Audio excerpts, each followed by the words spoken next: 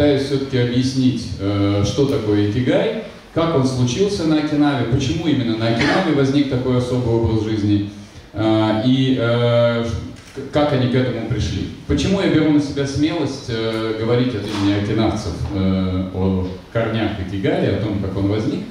Ну, наверное, я не побоюсь, по крайней мере, я вхожу точно в пятерку людей, которые бывали на Окинаве из россиян больше всех. За последние 13 лет я был на Окинаве почти 48 раз, не почти, а 48 раз. Я как-то ради интереса посчитал, за 13 лет я провел на Окинаве почти 2 года. Ну вот, если суммировать все мои визиты. А, могу честно сказать, что если бы я побывал там 2-3 раза, то э, я бы сейчас здесь не стоял и, скорее всего, не смог бы об этом явлении рассказывать. Окинавцы, как всякие, на мой взгляд, азиаты, люди, которые пропускают себе достаточно тяжело, и чтобы стать там своим, чтобы они начали перед тобой раскрываться, нужно потратить время, нужно потратить силы. И самое главное, нужно доказать им, что ты тоже обладаешь своим икигай.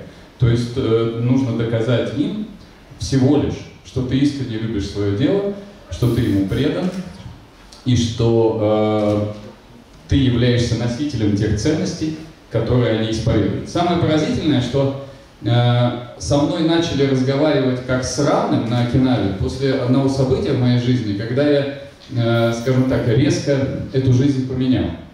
Дело в том, что на рубеже примерно 40 лет э, я совершил поступок, который вот с точки зрения современного российского, особенно московского общества, считался бы, наверное, не очень адекватным. Я оставил, ну, на мой взгляд, достаточно успешную карьеру Э, в журналистике. На тот момент я был э, генеральным директором крупного издательского дома.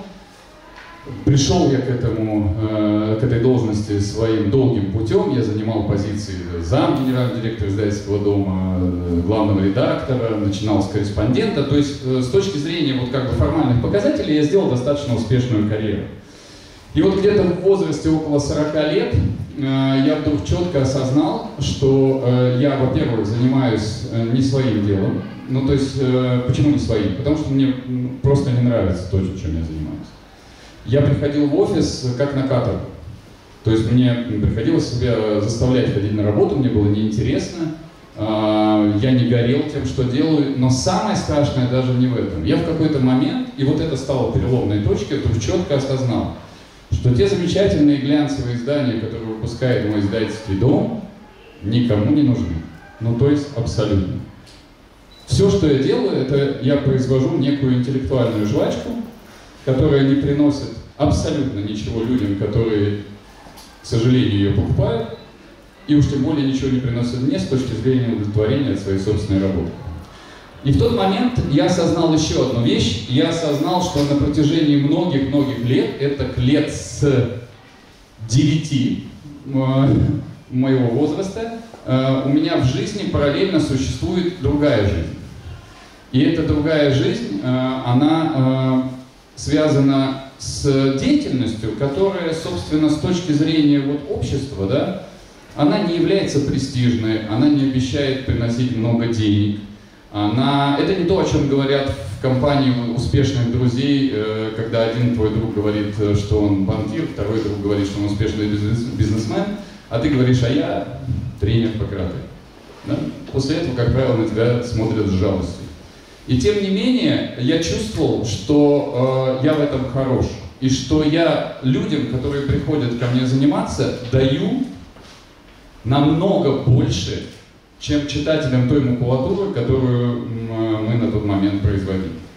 Что я могу людей, э, ну, если не изменить, то показать им верную дорогу, в каком направлении им идти. Я не знал тогда еще, что такое икигай, я не знал, что существует такой стиль жизни, но я интуитивно чувствовал, что у меня есть э, в жизни дело, которое может стать моим предназначением. И причем я этому делу уже на тот момент уделял больше внимания, чем моей основной работе. Ну, то есть, приходя на свою основную работу и садясь за компьютер, я там писал статьи, набрасывал книгу, э, и, как вы понимаете, все это не производительский бизнес. И вот наступил момент, вот этот момент был в моей жизни переломным, когда я решил быть честным самим собой.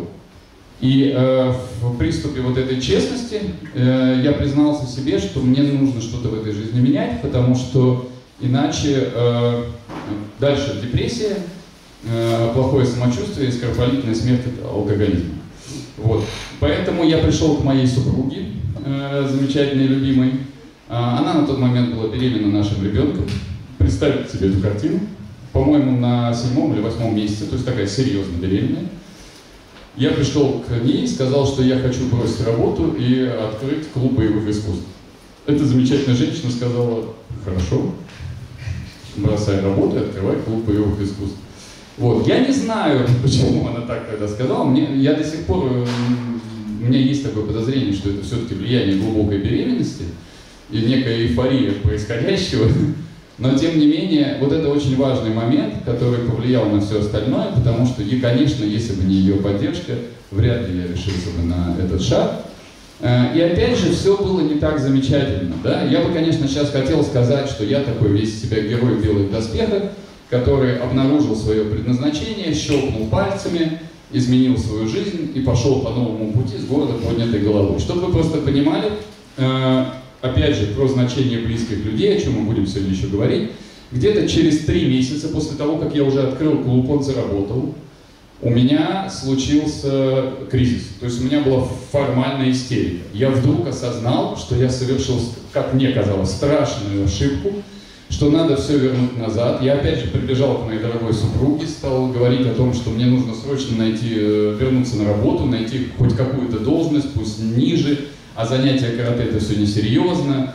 Э, на что она, опять же, находясь в глубокой беременности, очень спокойно мне уже нет, да, уже не находясь в глубокой беременности, очень спокойно мне сказала, что, знаешь что, дружок, ты э, шаг сделал, теперь будь добр, дойти до какого-то логического финала. А вот потом будешь истерить и решать, по-моему, как бы, стоило это того или нет. Так вот, а, если говорить формально, то в возрасте 40 лет я обрел э, то, что называется э, как раз э, свой икигай. Да? И вот здесь очень важно понимать, что э, что такое икигай для э, человека, который не живет на Окинаве и не живет э, в обществе э, окинавском, да? То есть что такое было обретение икигай для меня? Это был мучительный процесс, это как роды. Потому что представьте себе, что, что такое икигай Окинавы, да? Вот сейчас э, в фильме Николай Коровин замечательно говорил, что икигай записывается иероглифами, один из которых обозначает ценность, а второй может переводиться, э, то есть э, он переводится как жизнь, но чтобы вы понимали, в японском языке, вернее в окинавском языке, э, учи-нагучи, который называется, и мы тоже будем об этом сегодня говорить, в окинавском языке есть порядка 12 иероглифами, которыми записывается слово «жизнь». И вот конкретно данный иероглиф записывается двумя знаками, один из которых можно перевести как стремление быть первым или бороться, а второй гармония. Стремление быть первым или борьба и гармония вместе э, как бы, э, составляют значение жизни. То есть икигай – это ценность, которую дает жизнь в стремлении к гармонии. Если говорить проще, то икигай Окинавы – это жизнь, вот я для себя придумал э, определение, на мой взгляд, очень красивое и умное, э, это жизнь в потоке своего предназначения. Почему я вот э, в фильме э, говорил, и я все время говорю о том, что очень важно понимать, икигай – это не хобби. Э, очень часто э, меня спрашивают, какую книгу я могу посоветовать почитать по икигай. Никакую. Я познакомился со всеми э, литературными шедеврами на тему икигай, которые на сегодняшний день вышли на русском или английском языке, и могу совершенно четко сказать, что это попытка взять достаточно серьезное культурное явление чужое, переработать его в некую, так сказать, жвачку, да, и предложить на продажу, завернув красивую упаковку. Как правило, э, действительно, все эти книги Э, несмотря на их, так сказать, наукообразность, э, сводится к одной единственной мысли. Ваша жизнь э, – дерьмо, вы ненавидите свою работу, э, каждый раз собираясь на эту самую работу, вы находитесь в состоянии лютой депрессии, э, ничего страшного. Заведите себе хобби, и у вас случится счастье. Так вот, это так не работает. Потому что если вы заведете себе даже самое замечательное хобби, вы все равно будете ходить на работу, которую вы ненавидите. Поэтому очень важно понимать, что э, икигай Окинавы – это, э, представьте себе человека, который однозначно занимается тем, что он любит. Вот по-настоящему любит. Вот он кайфует от каждого дня, проведенного а, ну, назовем это на работе, да, или в работе. То есть для него вообще не существует понятия работы. Для него не существует понятия ходить на работу и отбывать на ней какое-то положенное количество часов. Он просто живет в этом деле, живет постоянно и круглосуточно. Он засыпает с мыслями об этом деле, просыпается с мыслями об этом деле. И он становится суперпрофессионалом в этом деле, потому что он все время об этом деле думает и все время развивается, он все время ищет новые решения, он ищет новые знания, потому что ему это в кайф. Это самый большой кайф в его жизни. Такой человек, а, например, никогда не... Почему окинавцы еще очень тяжело к себе подпускают? Да? Не потому, что они такие прям закрытые ребята и скрывают какие-то секреты. Потому что это часть икигай. А, который говорит, что человек, который пребывает в состоянии кигай, не будет общаться с людьми, которые ему не интересны. Вот не будет. Просто задумайтесь, как часто и как много мы в этой жизни общаемся с людьми, которые нам не интересны просто потому, что маст. Да? Ну вот надо, по работе надо, да? А, с чиновниками, с руководством, и, ну и так далее. Здесь можно подключить фантазию. Представьте себе, сколько таких людей нас окружают. А теперь представьте себе жизнь без них. Представьте себе, что вы сами выбираете, с кем общаться. Всегда. Без исключений. Да? То есть вы так организовали свою жизнь, что вы общаетесь только с теми, кто вам по-настоящему интересен. И живете только с теми, кто, кого вы по-настоящему любите. Дай Бог, чтобы здесь все были такие. Я верю, что вот, если вы уже сюда пришли, вы уже почти такие. Но я вот э, часто люблю рассказывать историю, я ее рассказывал, э, здесь есть люди, которые были в Ярославле, я там тоже ее рассказывал, на прикладной конфликтологии рассказывал, кто был. Э, она такая яркая, что я еще раз ее расскажу. Это вот по поводу анти-икигай. У меня есть э, знакомый, был вернее, э, сейчас мы давно уже не общаемся, с, э, поразительный человек. Он каждый раз, когда в компании друзей немножко выпивал, Э, он говорил одну и ту же фразу про свою жену. Он говорил, вот бы она умерла. И при этом, э, когда ему говорили, что вдруг мы, ну, а есть же развод, да, ну, можно же расстаться, он говорит, нет, так сложно, геморройно. Лучше бы она умерла. Это бы решило все вопросы. То есть представьте себе состояние человека, который живет не просто с нелюбимым человеком, он живет с человеком, который ему противен, который ему омерзителен, он ему смерти желает, но он с ним живет, потому что он не хочет ничего сделать в своей жизни. Он не хочет сделать вот тот, ну, в, рамках глобального, так сказать, э, хочется сказать нецензурное слово, но вот того, что с ним происходит в жизни, да, вот в рамках этого глобальной неудачи, которая его постигла в личной жизни, это же совсем маленький шаг, да, пойти и развестись. Но человек этого не делает, потому что он боится. Он боится осуждения близких, он боится э, тех последствий, которые будет иметь. Он боится слез своей жены, которую он ненавидит, но слезы же так раздражают. Так вот, человек, который живет внутри Икигай, он живет в глубоко организованной жизни. Он живет в жизни, которая вот это все да, считает лишним. То есть, еще раз, это человек, который занимается любимым делом, причем он не занимается любимым делом, тоже плохой глагол, он живет в любимом деле. Это человек, который общается с людьми, которые ему глубоко интересны, и это человек, который рядом с собой видит только того, кого он по-настоящему любит, ценит, дорожит. То есть его окружает вот такой гармоничный мир. Да? Вот казалось бы, э, это же почти идеал, да? А, почему так получилось, что мы с вами живем в таком негармоничном мире, а, а вот окинавцы живут э, вот так? И причем только окинавцы. Еще к тому же они живут дольше всех на Земле. Из 100 человек, живущих на Окинаве, 25 по средней статистике перешагивает э, возраст 100 лет. 25 человек из 100. Остальные в среднем доживают до 90. То есть средняя продолжительность жизни на Окинаве, внимание, 93 года. Это самый высокий показатель в мире. Да, можно говорить про воду, про питание, про физическую активность, э, причем самое прикольное, что это все тоже часть окинавского икигай. Но в центре отношение к, э, к жизни. В центре э, такой образ жизни, который позволяет фактически избегать серьезных стрессов.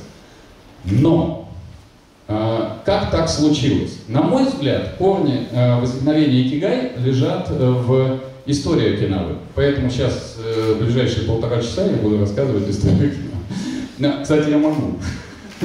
Вот. Э, я не буду этого делать. Кто захочет, я даже целую книгу на эту тему написал. Называется она, правда, не история Окинавы, называется она «Неизвестное карате». Но если вам будет интересно, ее еще можно приобрести.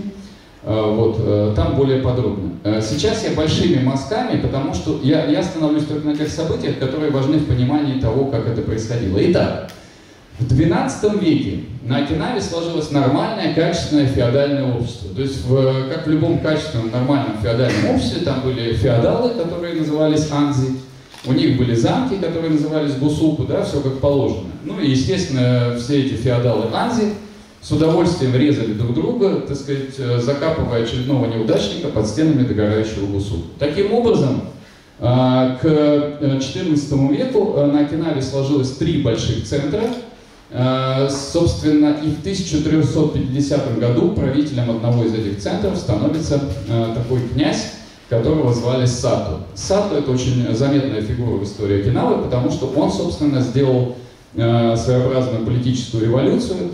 С точки зрения, знаете, 90-х годов в России, когда три банд-группировки не могли поделить территорию, руководитель одной из этих банд-группировок принял собственно, правильное решение. Он пошел и нашел самую большую бандгруппировку и попросился к ним.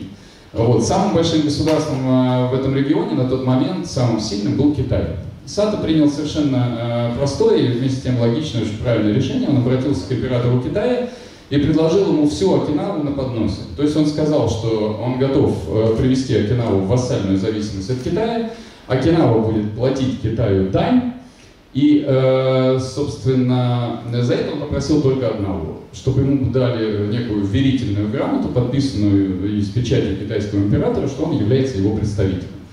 Авторитет э, китайского императора был настолько велик, что Хата очень быстро объединил Окинаву под своей рукой, перебив тех, кто был не согласен, и усмирив тех, кто был согласен.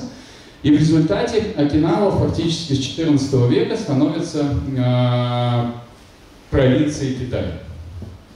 Uh, да, uh, Окинава очень долго, на протяжении 600 лет, была фактически китайской территорией. Uh, причем настолько фактически, что даже сегодня Китай постоянно предъявляет официальные ноты Японии, требуя вернуть Окинаву. То есть у них Окинава это такие же спорные территории, как у нас Курилась Япония. Вот, значит, чтобы понимать, насколько Окинава была китайской, да, она формально являлась самостоятельным королевством. Называлось это королевство Рюкю. И в этом королевстве, естественно, был король. Если король умирал, то если в любом нормальном европейском государстве ему наследовал его, так сказать, наследник, если он был, то на Окинаве все проходило не так. Там, как у нас сейчас в России, э, губернаторов назначают, а у них назначали короля. То есть китайский император короля назначал. Когда умирал предыдущий король, приезжал специальный посланник китайского императора, э, и э, как бы привозил с собой официальный документ, которым назначал Окинавского короля. Это была абсолютно китайская провинция. В 1477 году э, королем Окинавы становится э, король-реформатор Сюсин, который провел э, грандиозную военную реформу, построил так называемый жемчужный путь, это сеть крепостей. Нам важно понимать, почему он это сделал. То есть только-только Окинава пришла, так сказать, к некому миру и пониманию, как на нее обрушилась новая напасть. Это были э, японские пираты Мако, которые на тот момент, э, так сказать, очень много неприятностей доставляли. Э, важно понимать, опять же, что такое Мако. Мако это не, не наши европейские пираты, когда, так сказать, э, как, как мы себе представляем по фильмам и мультфильмам, наверное, Да, корабль с черным флагом и костями э, плывет по морю, потом нападает на торговое судно, да, грабит его, и все у них сложилось хорошо. А, МАКО – это э, полноценные военные формирования, которые в составе многих, то есть флот, фактически это флот, которые нападали на большие территории, то есть на города, э, да, грабили их, разоряли, уничтожали, но, но как бы, то есть Пираты Мако для Окинавы это было то же самое, что для Древней Руси печенеги. Да? То есть пришла Орда, всех пограбила. Вот, вот примерно то же самое пираты Мако. Э, очень долго Окинава э, страдала от э, этой напасти, но в 1977 году король Сусин смог более-менее, так сказать, справиться с этой бедой, и Мака с этого момента перестают быть существенной проблемой. Вот вроде бы, опять же, наступает время мира, но э, в 17 веке в силу э, исторического анекдота на Окинаву происходит вторжение японского самурайского клана Сацуна. Да? То есть вторгаются э, японские самураи. Почему я говорю, что в ходе исторического анекдота? Потому что э, это было правление Токугава Ильясу, э, Сёгуна, э, объединителя Японии, если вы знаете. Дело в том, что клан Сацума, это, знаете, это были такие, э, ну, как бы, я сейчас говорю без национального окраса, да, чтобы просто понять, вот, э, начало 2000-х себе представляете, опять же, в России, да, это Чечня, да, то есть э, проблемный регион, горцы, с ними надо договариваться. То есть, если всех остальных покорили и покорили, они сидят по своим замкам, да, и ничего как бы не возражают. А вот Сацума это вечная проблема. Мало того, что они были страшно воинственные, мало того, что они еще были хорошо вооруженные, э, многочисленные, да, э, поэтому с ними приходилось постоянно договариваться. И Сёгун договаривался, он откупался от них, он э, придумывал для главы клана Сацума какие-то совершенно красивые титулы, назначал его на какие-то замечательные должности. И вот представьте себе один момент, когда приходит советник э, Сёгуна Иясу Токугава к нему и говорит, слушай, Сёгун, вот опять сацумцы бунтуют. Он говорит, что же делать? Может им заплатить? Он говорит, казна пустая. Может ему должность какую-то назначить? Он говорит, должности закончить. Он говорит, давай им придумаем какую-нибудь должность. И советник говорит, давай, а давай назовем его властитель тысячи островов. Он говорит, вообще звучит красиво. Давай. И они отправляют э, на полном серьезе, они отправляют главе клана Сацум официальную грамоту Сёгуна о том, что он назначается э, сказать, э, хозяином тысячи островов. А глава клана Сацума был очень буквальный человек. Он получил грамоту и попросил принести карту. И нашел э, объединение островов, которое называлось Королевство Рюкю. Так пальцем бегло посчитал, говорит, меньше тысячи, но с чего-то надо начинать. А здесь Сёгуну и Ясу Токугава приходит еще одна замечательная мысль. Он говорит, а давайте отправим сацумцев на войну в Корею. Может, их там всех перебьют. А если не перебьют, присоединим Корею. В любом случае мы в плюсе. И, соответственно, вслед за грамотой о тысяче островов летит почтовый голубь с грамотой о том, что пора на войну. А что делает нормальный, так сказать, князь, когда его просят отправиться на войну? Он начинает собирать своих вассалов, чтобы вместе с ними на эту войну пойти. Поэтому король Окинавы, который не в курсе вот этого всего, да, получает письмо, где от него требуют поставить под копье э, некое количество вооруженных людей и отправить их на войну в Корею. Поскольку король Окинавы был совершенно не в курсе всех этих перипетий, он употребил это письмо по назначению и забыл про него, а зря. После того, как сацумцы потерпели нехилое поражение в Корее, э, то, что от них осталось, решили заехать на Окинаву и спросить, почему, собственно, их письмо проигнорировали. Случилось знаменитое э, первое сражение за Окинаву, в результате которого окинавцы дали сацумцам э, очень мощный отпор, настолько мощный, что они все-таки дошли до королевского замка, они э, захватили даже в плен короля, но это была первая победа, потому что э, потери, которые самураи понесли во время этой битвы, были настолько велики, что им пришлось договариваться. В результате Окинава, вот мы возвращаемся к Икигай, становится Труфандина, слугой двух господ. Потому что с этого момента они начинают платить дань японцам, но продолжают платить дань китайскому императору, потому что японцы запретили говорить китайскому императору о том, что они платят дань японцам, потому что доход от торговли с Китаем был настолько велик, что с этого момента дань Окинавы Сацусам составляла примерно 50% бюджета этого, этого огромного японского клана.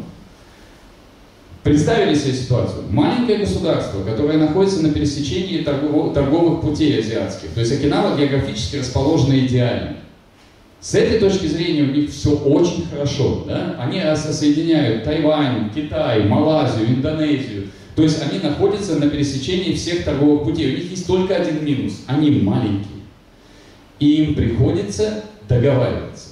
С этого момента Окинава становится вот таким своего рода э, Труфальдино. Продолжается это до 1879 года, когда после революции Мэйдзи в Японии, собственно, в Японии новый строй, и э, япон, новое японское правительство принимает решение, что хватит этому бардаку продолжаться, они аннексируют Окинаву и присоединяют ее к Японии. С этого момента Окинава становится префектурой Японии, и это приводит к еще одной э, колоссальной проблеме, с которой окинавцы столкнулись в 1945 году уже. Да?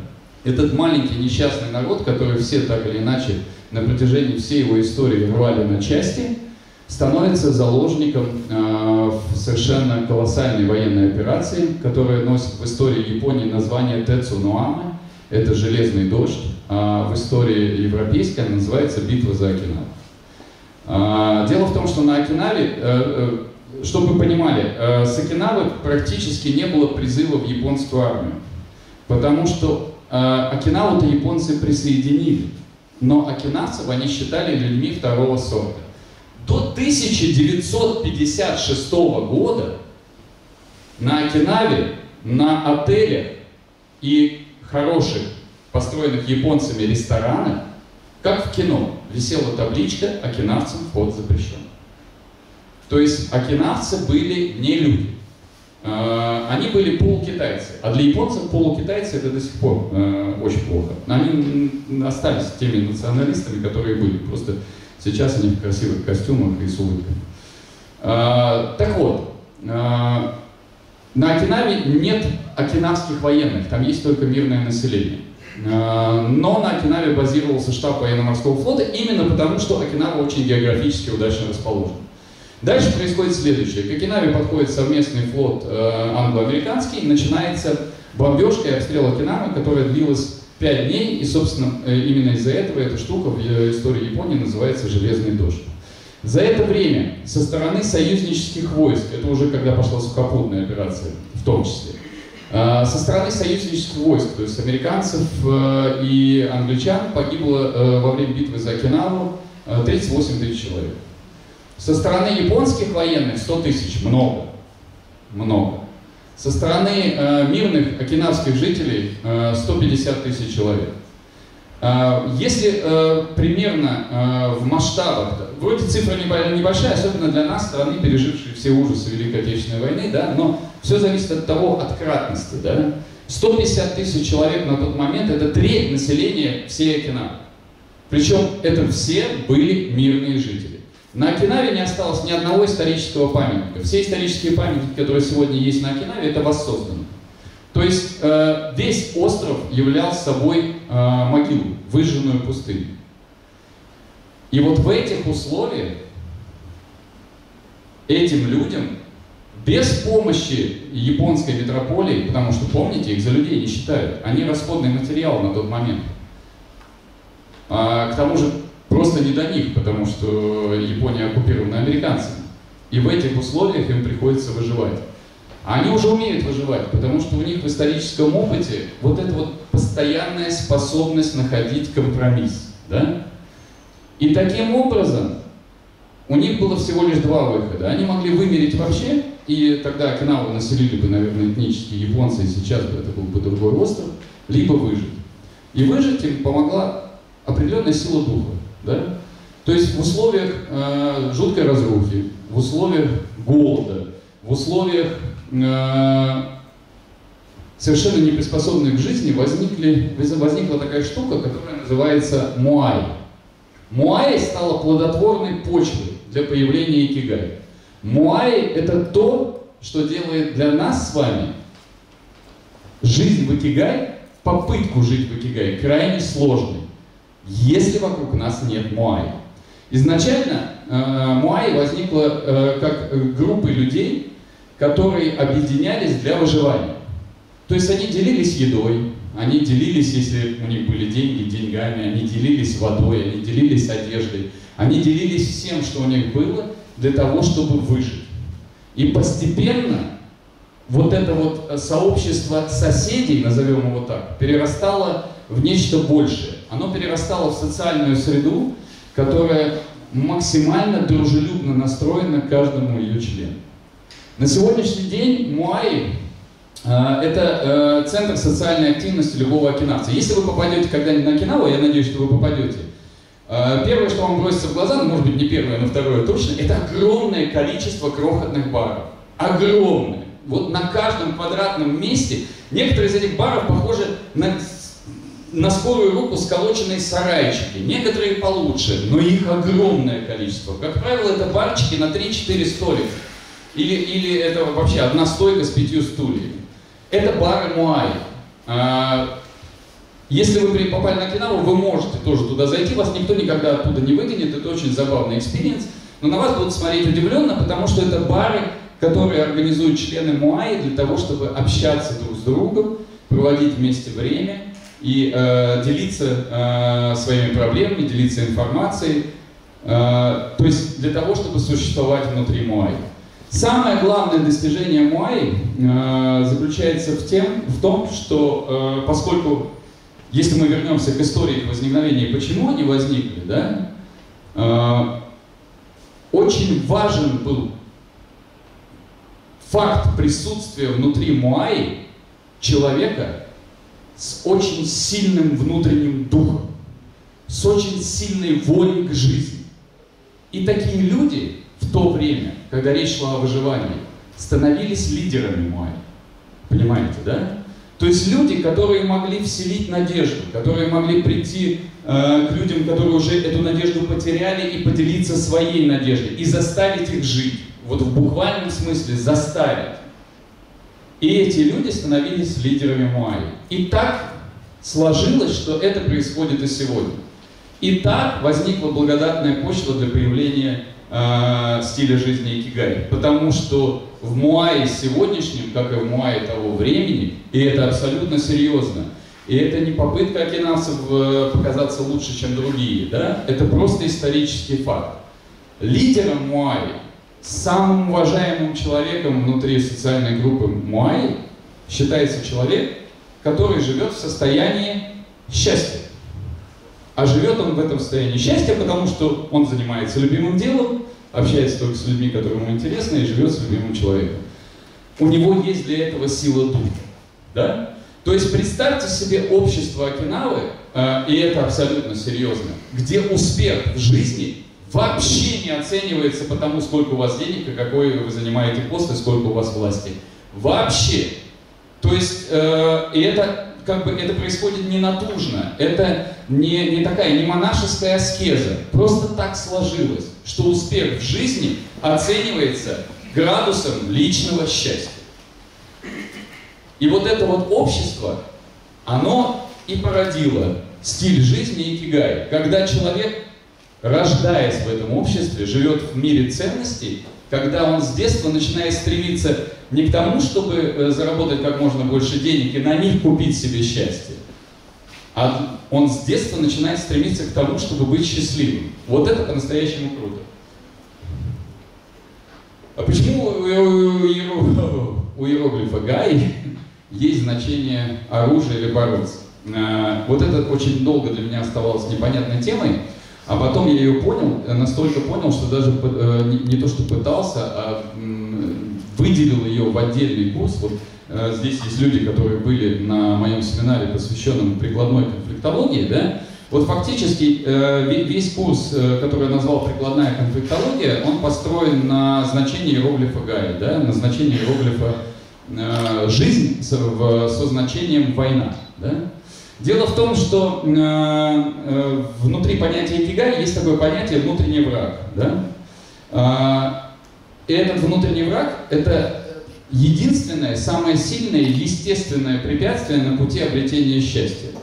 Э, такой небольшой интерактив. Э, скажите, пожалуйста, в этом зале поднимите, пожалуйста, руку те, кто никогда в жизни не совершал ни одного поступка, за который ему стыдно.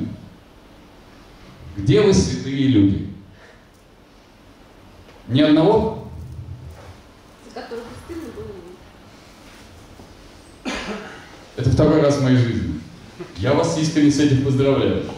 Ну хотя бы один. Я не могу про себя это сказать. У меня энциклопедия поступков, за которые мне стыдно.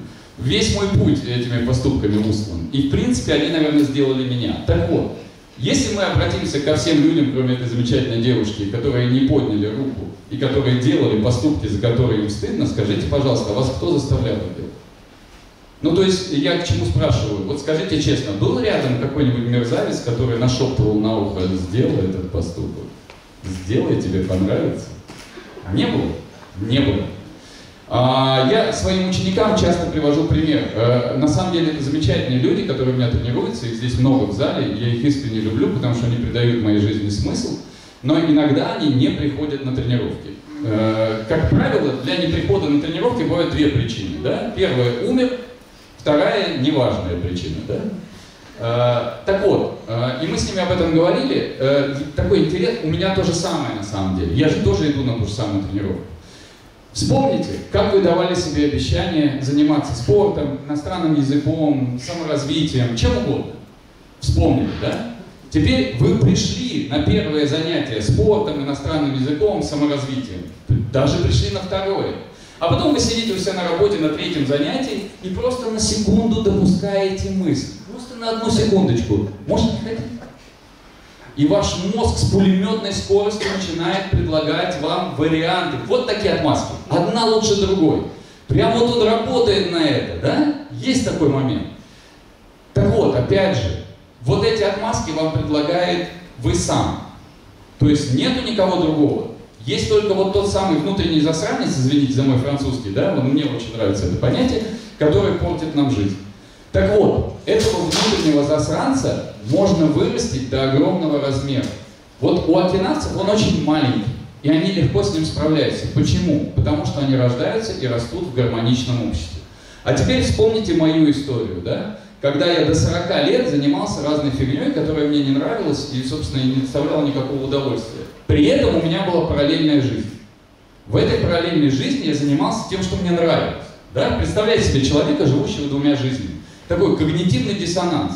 Вот между этими двумя жизнями и вырастает вот этот внутренний засранец. Чем больше у вас раздрай, вот этот жизненный, между вашими истинными желаниями и действительностью, чем больше вы руководствуетесь в принятии решения о том, чем вы будете заниматься э, заработком и карьерным ростом, а не тем, что вам по-настоящему нравится, тем больше лохматий вырастает у вас внутри этот внутренний засранец, тем больше ошибок он вам подсказывает, и тем больше, так сказать, ошибок вы совершаете. Так вот, самая главная задача Икигай – это с ним справиться. Самая главная задача Икигай – это э, победить вот этого внутреннего засранца. Да? Я прям себя процитирую, мне очень нравится. «Жизнь, состоящая из одних компромиссов с собой и уступок собственным слабостям, приправленных самыми убедительными причинами и оправданиями, способна породить лишь пустые сожаления». А, собственно, и теперь э, еще один момент, э, он прям проистекает вот от этой борьбы с внутренним засранцем. Почему э, на Окинаве еще есть понятие, то есть есть икигай, а есть чикара икигай, сильный икигай. Да? Вот, например, э, обладателями очень сильного э, икигая считаются мастера карате. Э, э, для тех, кто не знает, Окинава это родина. То есть то, что вы знаете под названием карате, это э, произошло с Окинавы. Да? как, опять же, я всегда говорю, карате это самый пострадавший, наверное, вид единоборств, потому что все, что про него люди знают, это чушь. Вы же все уверены, да, что карате это японский вид боевого искусства? Нет. Это как э, у моего учителя э, Морио Хигаона Сенсея, которого вы видели в фильме, которому 80 лет, у него есть его учитель. Он жив, бодрый, до сих пор тренируется, ему 97 лет. Вот, э, и, соответственно, э, вот он, он однажды отправил меня к нему потренироваться э, для того, чтобы я, так сказать, проникся духом истинного карате, познакомился с великим мастером. Вот. Очень нетолерантный дедушка, потому что современные кинавцы, они уже, они уже толерантные. Современные, это вот которым 80, молодые. Вот. Они уже такие, японцы тоже люди, с ними тоже можно общаться. Вот. А этот человек, э, которому 97 лет, он первое, что меня спросил, он говорит, ты чем занимаешься? Я говорю, карате. Он говорит, карате занимаются японские обезьяны. А ты занимаешься тоте. А тоте это название карате на окинавском языке. Я говорю, хорошо, сенсей, тоте. Он говорит, а знаешь, почему японцы обезьяны? Я говорю, нет. Он говорит, потому что они наше движение украли, а понять не смогли. Вот, э, как обезьяны. Э, это вот такое отношение, отношение окинавцев старых к японцам. Так вот, собственно, почему носители карате являются очень, обладателями очень сильного икигай. Потому что сильным икигай считается тот, когда человек себя посвящает не какому-то э, делу, которое, ну вот оно, оно такое э, коллапсированное, оно замкнутое, да? Ну, то есть представьте себе человека, который, вот, например, на Окинаве очень развито гончарное искусство, да? Окинавская керамика, она считается знаменитой там, во всей Японии, во всем мире, и там есть истинные мастера керамики. Да? Вот люди, которые делают произведения искусства, настоящие произведения искусства. И все. А есть люди, вся жизнь которых посвящена не тому, что они производят законченное произведение искусства, они делают людей. Они делают людей, э, которые обладают икигай. Но делают здесь, наверное, не совсем правильное понятие, они направляют этих людей. Так вот, считается, что люди, которые приходят в традиционное кинавское карате, они приходят э, за тем, чтобы найти силы для поиска своего икигай. А, почему? Потому что окинавское карате, э, его главная задача, э, они делают людей, я это называю, э, они делают людей целыми. Дело в том, что внутри каждой традиционной системы боевых искусств есть упражнение, которое все полностью посвящено тому, чтобы научить человека объединять свое тело в едином центре и из этого центра этим телом управлять. А теперь самое интересное. В азиатской культуре под телом подразумевается вся совокупность качеств человека. То есть, если, например, э, ну, мы знаем, что в японской, э, в э, западной культуре очень часто мы встречаем тело, название, ну, например, в английском body, да? Так вот, слово «бади» производит от древнегерманского «ботах». «Ботах» — это бочка. Да? Поэтому в европейской культуре тело — это сосуд для духа. Да? Еще очень часто тюрьма для духа. Да? То есть э, задача э, — это ни, никак не связанные вещи. В традиции азиатской тело и дух неразрывно связаны. Э, например, сердце считается э, хранилищем разума. Печень считается хранилищем души. А почки считаются хранилищем силы Будды. То есть в азиатской культуре телесное и духовное неразрывно связаны. И все системы воспитания человека, такие, как вот, о которых я говорил, которые посвящены объединению человека в едином центре и э, действованию человека из этого единого центра, они всегда говорят о том, что человек становится цельным не только телесно, но и духовно. То есть он становится целым. Он находит еще проще. Э, Настоящая цель традиционных боевых искусств не в том, чтобы научить э, одного человека причинять боль другому человеку. Это дополнительный бонус. Основная цель – это помочь человеку найти точку опоры. А вот что он потом с этой точкой опоры сделает, это уже зависит от того, в каком обществе он живет и куда он дальше идет. Поэтому люди, обладающие э, сильным икигай, это мастера карате и кабудо, а, а еще э, люди, обладающие сильным икигай, это э, учителя танцев традиционных на Окинаве, потому что там абсолютно та же самая история. У нас сегодня как минимум один человек был, который э, открывал вот это вот событие наше, это Провин. Это без сомнения человек, который обладает э, э сильным икигай, э, и его задача это менять людей. У нас в конце нашего мероприятия будет э, мега сильный человек, который обладает сильнейшим икигай. Я безумно счастлив, что этот человек здесь. А, вот, э, поэтому э, мы как раз сможем узнать о том, что сильный икигай это не, не только боевые искусства. Буквально два слова, я не буду сильно останавливаться на этой вещи. Помните, я говорил, что окинавцы живут дольше всех, да? Дело в том, что и, и также я только что вам сказал, что телесное и духовное неразрывно связаны. Огромное значение э, в системе жизни в Икигай э, занимает э, уважительное отношение к собственному телу. Да? Окинавцы, э, исторически так сложилось, что окинавцы живут в состоянии естественной заботы о своем теле. Начинается это с питания. Окинавская кухня, опять же, уникальна. То есть э, есть такое понятие на окинавском языке кусуимун, полезная пища. Сам принцип э, питания называется нэшигасари, это еда как лекарство. Причем они, э, тоже очень важно понимать, они не сидят на диете, они не э, худеют специально. На Окинаве нет людей, вообще нет. Ну, вот, по определению. Они просто вот так питаются. Они вот так живут. То есть они живут в э, мире сочетания продуктов, которые исключительно полезны для здоровья. Помимо этого, э, все, без исключения кинавцы, занимаются видами э, физической активности. Как правило, это карате, кабудо или народные танцы. Например, э, в городе Наха, недалеко от Нахи, есть додзе. Додзе – это место для занятий боевыми искусствами. Э, клуб карате, э, там занимаются дедушки не моложе 80 лет. То есть моложе 80 лет туда не пускают. Вот там э, э, самому старшему, по-моему, 103 года, а самому младшему, соответственно, 80. Да? Вот такой вот клуб, клуб для занятий карате. До него еще дорасти надо. А? Молокососом вход воспрещен. Молокососом вход воспрещен. Кстати, по поводу молокососов э, тоже очень интересно. Э, я э, чуть-чуть забегая вперед, э, просто это должен быть следующий слайд, я тогда про него скажу, потому что он более логично вытекает. Раз уж возник вопрос о молокососах, осталось совсем немножко.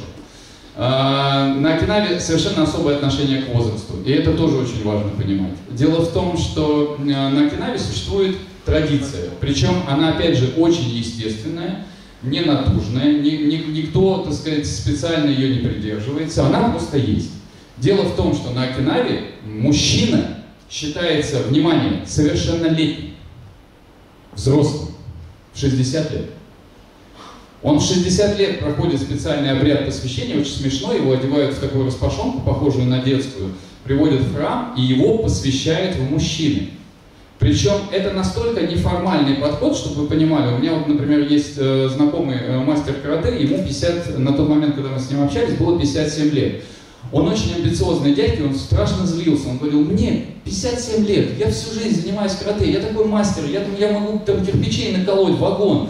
Я столько посвятил э, по развитию карате, я столько сил приложил, а меня эти деды за пивом гоняют, не дают за, с собой за один стол садиться, вообще не хотят со мной разговаривать и ни во что меня не ставят. Это на полном серьезе.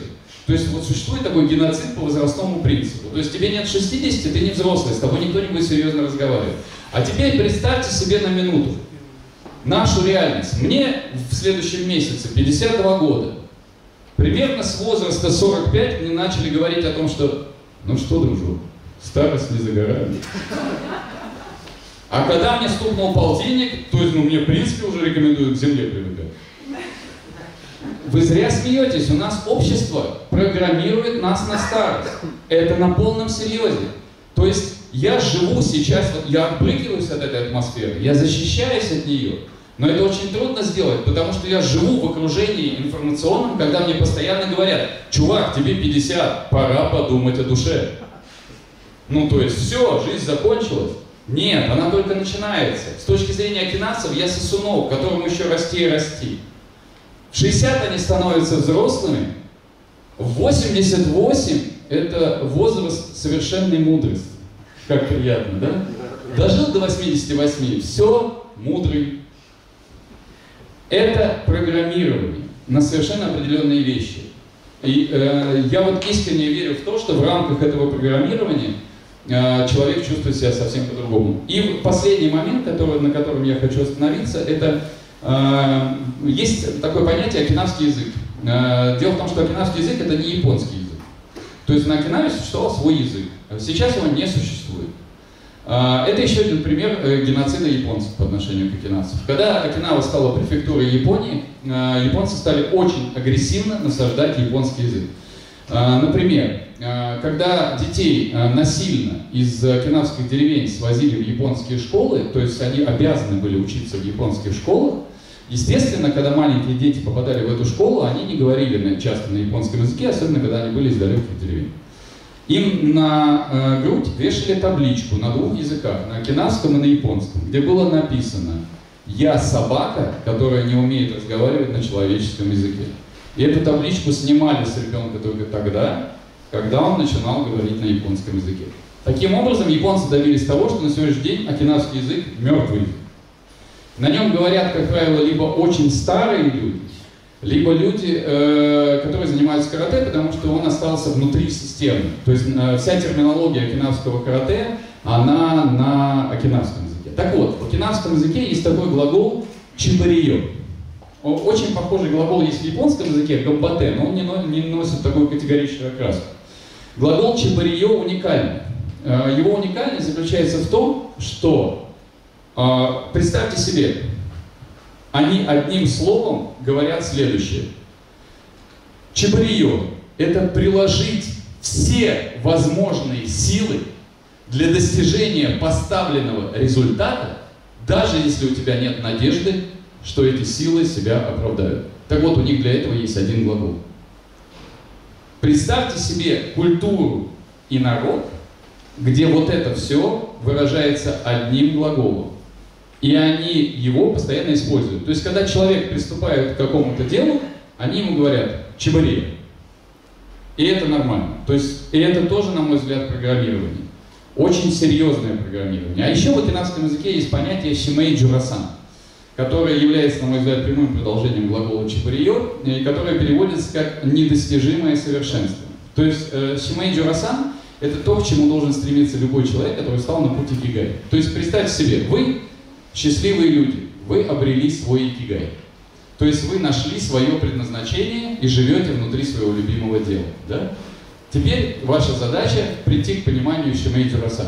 То есть Шимейджи Расан – это постоянное стремление к совершенству, которое невозможно достичь. То есть вы каждый день совершенствуете себя в выбранном деле, приняв как аксиому что вы никогда не достигнете некого абсолютного совершенства в этом деле. То есть вся ваша жизнь будет одним сплошным путем к этому совершенству, которое недостижимо. То есть таким образом икигай становится э, такой штукой, которую можно назвать вечный путь. Это мой сенсей в окинавском карате, который вы видели. Это, вы видели там человека с ужасно набитыми руками, да? Это он. Э, он очень любит говорить, что э, я буду тренироваться в карате э, до самой моей смерти. Когда я умру, я в виде призрака вернусь в додзю и буду продолжать тренироваться дальше. Это, это, конечно, шутка, но с одной стороны, а с другой стороны, это вот как бы некий показатель того, что такое отношение к икигай. И последнее, что я хочу сказать, очень важно понимать, все вот эти многочисленные курсы, книги, Э, которых сейчас очень много в интернете и на полках книжных магазинах, они говорят вам, э, жить в Икигае несложно, да, ну, просто сделайте свой выбор и живите в нем. Э, я вот последнюю книгу прочитал, она вообще была фантастическая, она как бы, то есть с точки зрения этой книги, прийти к Икигай, это было следующее, найди свое хобби, питайся здоровой пищей и занимайся физкультурой. Все, Икигай случился, да?